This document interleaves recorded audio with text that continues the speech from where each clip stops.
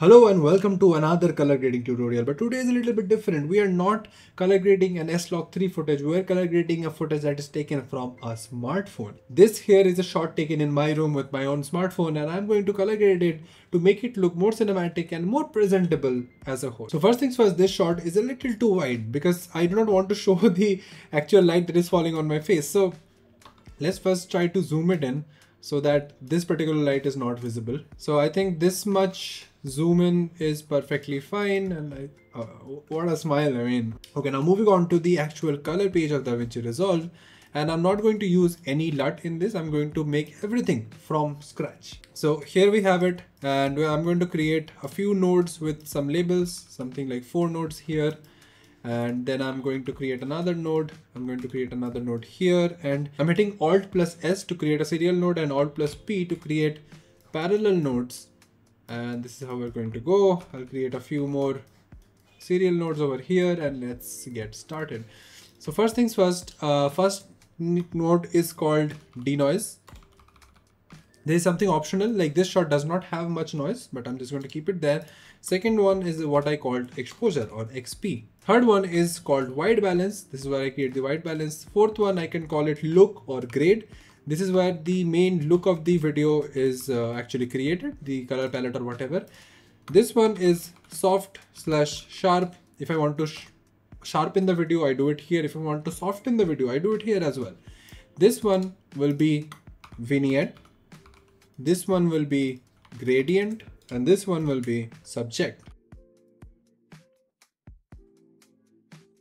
But I don't want to use any LUT. I want to do everything from the ground up. So I will just keep it for blur. I'll keep one for glow.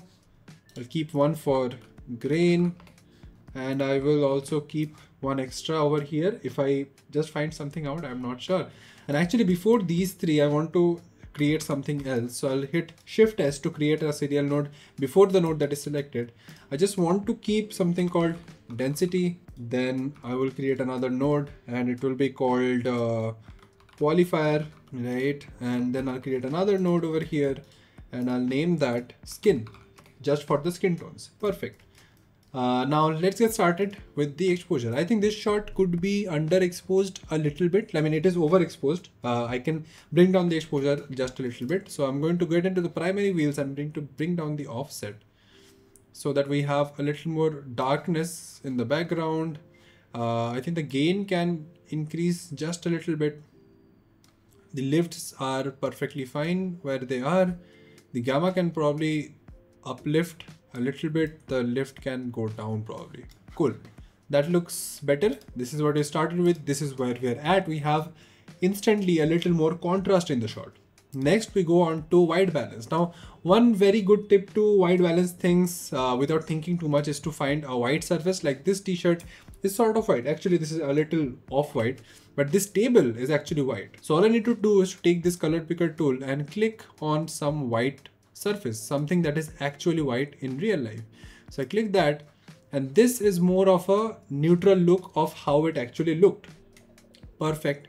Uh, but I don't like how cold this shot is. I will increase the temperature just a little bit over here. Uh, I think that much is fine. The tint also needs to come back. It's slightly here i'm basically eyeballing things like uh, whatever looks good to my eye i'm just sticking to that this blue is a little too harsh we're going to fix that later on but i'm coming to the grade coming to the grade i'm going to create a little bit of uh, a, a, variation of teal and orange. I'm going to keep the teal part definitely something like teal or turquoise. But in the highlights part, I generally want to go with orange, but with a slight tint of green. Let's see how we're going to do that. So first things first, I'm going to go into the uh, curves and come into hue versus saturation. I'm going to add all of these things. Uh, I'm going to move this green marker, which does not make any difference because there is no green in this shot except this plant, but I'm going to move it downwards and move the blue a little bit upward. You'll see the blue color in the shot changing. It will change towards a more tealish color, which is exactly what we want because we're going for a variation of the orange and teal look that is what we have. We're going to push the yellow upward. You'll see the skin color changing. It will move towards more towards red. Now to now this looks a little too red probably. To fix that we're going to bring the red down. And so we end up at a perfect orange. That looks good. The, our skin tone got kind of dulled a little bit in this process. So what we're going to do is to go into hue versus uh, uh, luma and uh, get our oranges a little pushed up that will make our skin a little less saturated and a little more bright I think that much is good. If you do it too much, it looks unnatural and uh, looks lifeless. So I'll keep it that far. We are already a fair way through. This is what we started with. This is where we add. Perfect. Um, now in the grade only, I will add a little bit of green to the highlights. How will I do that? I will use the gain wheel and add a little bit of green from here. Not too much. I think that much should be just fine. And reduce the blue a little bit I think these are the good, very good values for now. Again, this is where we started with. This is where we're at. Looks pretty fucking good.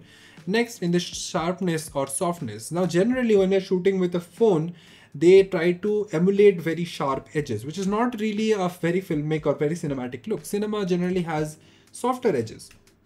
So I'm going to add a little bit of blur to this. Where is the blur menu? This is a blur menu. I'm going to come here and increase it just a little bit, like not too much, like something like 54 55 should be good i'll zoom in a little bit so you can see okay this is where we are starting with you can see the very artificial uh, sharpness you can see a very artificial sharpness to all the edges i'm going to just get rid of that something like 53 54 maybe or 55 no 55 looks too much 54 looks good to me now this looks much more pleasant to the eye you see this is what we had before and this does not look like a very soft film camera. Now, if I do this, this looks much more approachable. Very nice.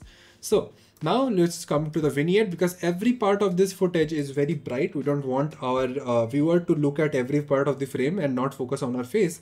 So I'm going to go into the power window, create a circular power window, make it big and uh, increase the softness even more. I'll probably shift it a little bit towards the right because my face is a little bit skewed towards the right and right over here I'm going to invert it and decrease the offset or gain whatever you want you can do that but yeah I think cool like this is before this is after now our eyes are much more directed towards my face not yet because the face also the half of my face is also very dark we're going to fix that in the subject node and I'm going to create another circular node. I'm going to make it mostly around my face and my skin. Main point of uh, interest in this footage and I'll soften it a lot. I'll place it dead center on my face and uh, just do this, rotate it a little bit. And then I'll go to this and increase the gain or maybe just the offset. That way my face is a little bit more lit up like this is before and this is after. I think it's a little too much that you have done. So I'll get it back and keep it a little more approachable.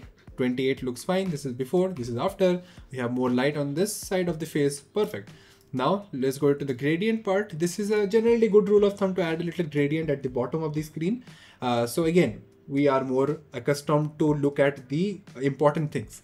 So I'm going to go into power windows again. This is the gradient one and I'm going to reverse it and place it down here and then I'll go into curves or go into offset doesn't really matter I'll bring it down that way you can see this gradient there is a very slight gradient at the bottom of the footage this is before and this is after and again this just looks more more natural to look and actually direct our eyes to what should be directed to now let's go add some density. I don't really think we need much of density because uh, I am very happy with where the skin tones are landing. But let's just try it once. I'm going to go to color space and HSV. I'm going to go to channels, channel 1 and channel 3, turn them off. If you do not understand what I'm doing color density, I have uploaded a video explaining exactly why do we do this, what is subtractive saturation and what is the problem with the normal saturation wheel that is over here. Go check out that video if you do not understand this. If you have already watched this video, perfect. I'm going to increase the gain and that brings a little more life to our skin tone. That is true, but I don't think I really need that at this point. Let's look at the other parts of the footage. Does that make anything better? I don't think so. I don't think so. I think it is good where it is. Uh, we don't need this thing. Uh, let's go to qualifier. I think our Uh, skin tone is perfectly fine in this case. Let's see with the color slice tool. And I think our skin tone is majorly pretty fine. It is lying on the uh, on this uh, skin tone indicator line in the vector scope. So I think we're doing pretty fine with that. Uh, so okay, cool. We don't really need the qualifier. I think uh, everything looks good. Uh, we can come in and add a little bit of radial blur and uh, tone it down. Uh, place the center towards more towards my face and tone it down to like something like 0.22 and this is before this is after if you're not able to see it I'll zoom in so look at the edges this is before everything is sharp. This is after everything is a little bit rotated and blurred. Now if you want to add a little bit of glow to it you can. You can come to glow over here. Everything that I've used so far is absolutely available in the free version of DaVinci Resolve so don't need to worry about that. I'll manage the threshold so things don't shine too much. I think this much shine is perfectly fine. I don't think shine we don't need much shine anywhere in this shot but that, that looks good okay cool now this film grain is something that I can add over here this is not available in the free version of DaVinci Resolve but uh, there's a very easy uh, way to emulate this using an overlay and grain overlay that you can find on Google anywhere. So I'm going to take film grain and add a very slight bit of 16 mm archival print. There's a very slight grain. I don't know if you can see it on YouTube after the compression, but it just adds a little more mm, to the shot and makes it look more cinematic. So this is what we started with and this is where we're at now.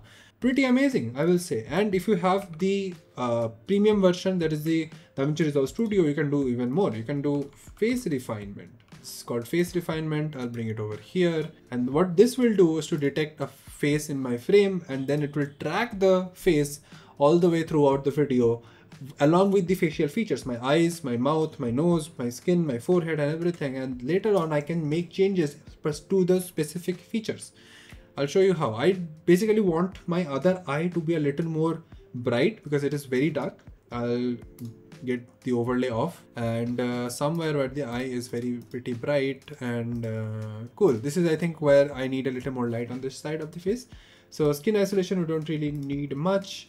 Skin texture again you can add more texture less texture you can do all those things over here not really my thing but yeah side lighting I don't want that you can have like side lighting like this is the right side of the face right i can add a little more gamma to the right side of the face then it will add a little more light to that side see it is adding a little more light to the right eye in this particular frame. And i think that is good. I'll uh, adjust the gamma back to normal but i'll add a little bit of gain. Uh, not too much though. Just a slight bit of gain and i think that looks good enough. Area softness i'll increase the softness so that it doesn't show much. And then in eyes I can add a little more sharpening because uh, our eyes as the audience generally look at the person's eyes. So if you add a little more sharpness they're easier to look at they're easier to connect to and uh, that will be perfect. Brightening I don't really want much brightening just a slight bit. I'll zoom in actually. You'll be able to see more. Just a little bit of brightness you see. If I dig it too much it looks bad. Uh, but yeah that much is fine. Highlight I don't really need much. I'll just keep it where it is. Eye bag removal do I have eye bags? I do have eye bags. So I can remove eye bags as well but I'll just keep them there. It shows it is a testament to my hard work and the long nights perfect. So I think this is where we are at and uh, this is what we started with and uh, I am pretty impressed of how much we can do with just a smartphone footage. If you are shooting videos, if you are a content creator who do not have a camera, use your smartphone and use the power of color grading to make it come to life, to make it look that much more amazing. But do let me know if you need more color grading tutorials of phone footages instead of the camera footages that I do. If I get enough comments, I'll make more tutorials on grading phone footages. I hope you learned something. I hope we all can make better videos, learn better colors and tell better stories. And I'll see you in the next one.